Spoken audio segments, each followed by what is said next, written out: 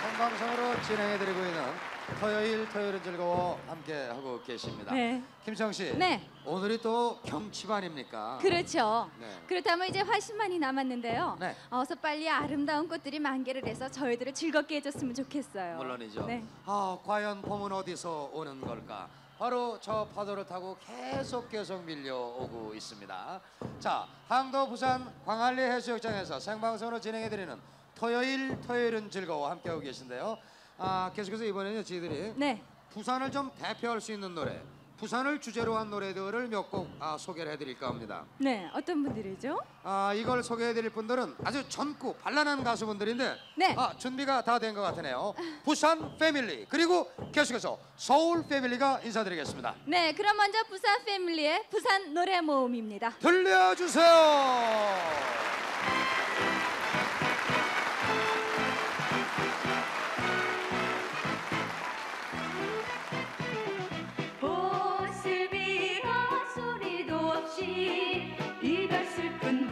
부산 정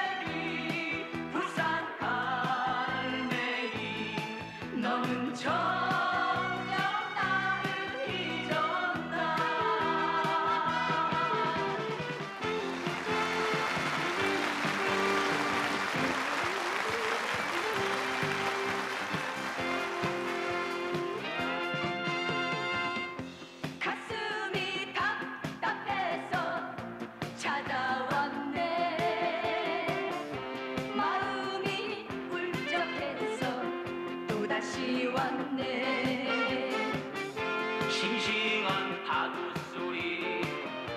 상큼한 바닷내음 여기가 부산항